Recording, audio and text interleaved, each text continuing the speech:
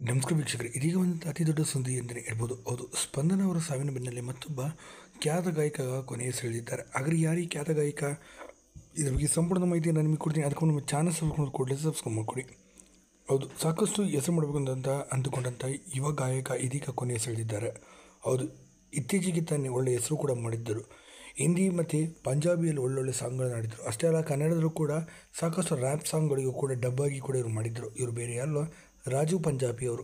ರಾಜು ಪಂಜಾಬಿ ಅವರು ಇತ್ತೀಚೆಗೆ ಕ್ಯಾನ್ಸರ್ನಿಂದ ಕೂಡ ಬಳಲ್ತಿದ್ದರು ಅಂತ ಹೇಳಲಾಗಿದೆ. ಹೌದು.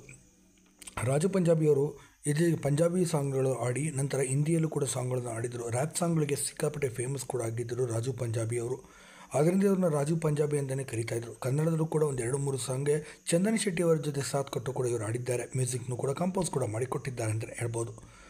ಹೌದು. ಇಂಥ ರಾಜು ಪಂಜಾಬಿಯವರು ಇದೀಗ ಕೊನೆಯ ಸೆಳೆದಿದ್ದಾರೆ. ತೀವ್ರವಾದ ಸೋಂಕಿನಿಂದ ಇವರು ಬಳಲ್ತಿದ್ದರು ಹಾಗೆ ಸುಮಾರು ದಿನಗಳಿಂದ ಆಸ್ಪತ್ರೆಯಲ್ಲಿ ಬಳಲ್ತಿದ್ದರು ಆದರೂ ಕೂಡ ವೈದ್ಯರ ಫಲ ವಿಫಲವಾಗಿ ಈಗ ಸಾವನ್ನಪ್ಪಿದ್ದಾರೆ